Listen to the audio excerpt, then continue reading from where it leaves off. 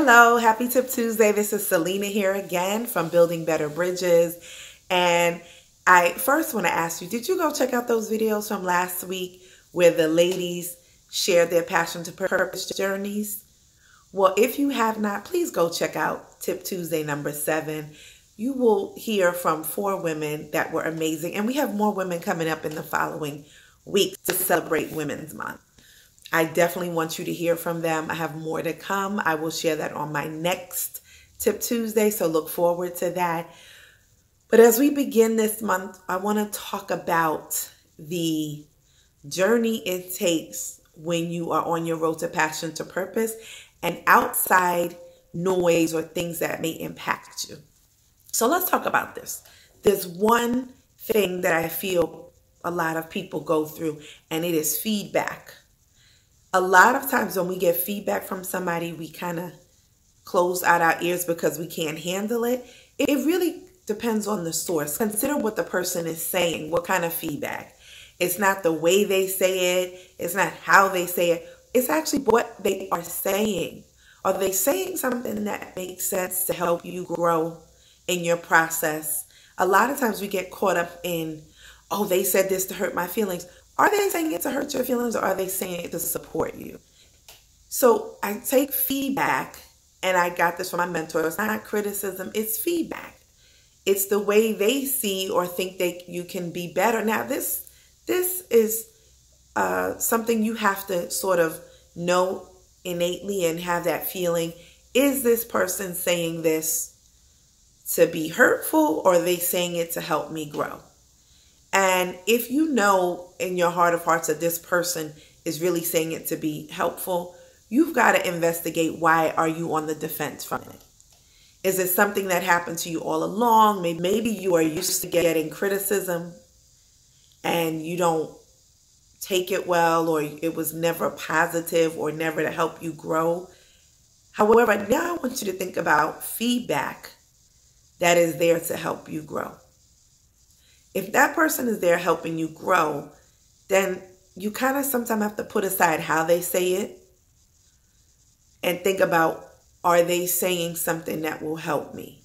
And if the case is that they are, then you need to investigate what that looks like. So, an example again, here I go with story time. So, most of you know that I'm writing my dissertation. So, in writing this, there's so many edits and so many iterations you go through that you have to share with other people. So I share it with my committee. We have there's three people and there's always like a long list of edits or changes. So I had to be open to taking feedback. So when I initially started this process, I went to someone at let's say they have a writing consulting group and the lady was not connecting with me. So I'm going to give you two stories. One, the lady was already ready to like just rip it to shreds did not understand the structure, what where I was going. I came in there for one thing and she was ready to rip it to shreds in another way. And I said, ma'am, but are you understanding the content? I wasn't yet ready for her to give me, oh, it's the grammar, it's this. That's initially some people's go to. I wanted to know if what I was saying made sense. So I felt that in my spirit, not so much that what she was saying was wrong, it was the way in which she went about it. So what I did was I found another writing consultant. And that was a beautiful experience. And so I know she would tell me to look at this, think about this. And it was more of giving me ways to structure it. And then I could focus on the grammar. So, one thing you need to know is when you're dealing with feedback, criticism, whatever you want to call it, before you get on the defense, think about is it helping you grow? Is it hindering you?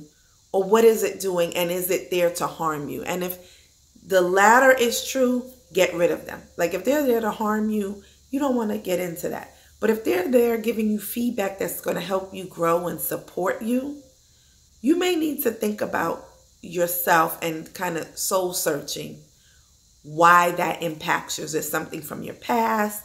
Is it something that other people have done to you that make you always on the defense? So we need to think of criticism and feedback in these ways of supporting your growth.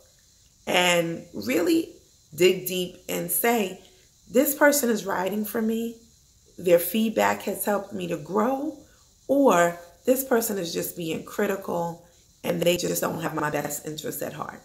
So on this Tip Tuesday, I just want to give you those two things to think about. Who's writing for you? Who's giving you feedback to help you grow? And who's someone who's just giving you criticism and they're stunting your growth? And if that's the case, you've got to get rid of them. So on this Tip Tuesday, I thank you for checking in.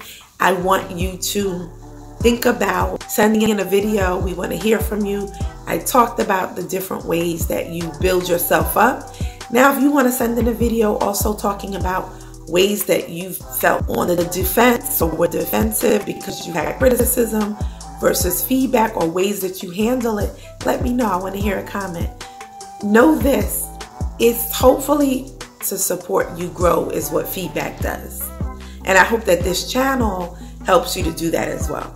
So happy Tip Tuesday as always. Keep sending your videos in.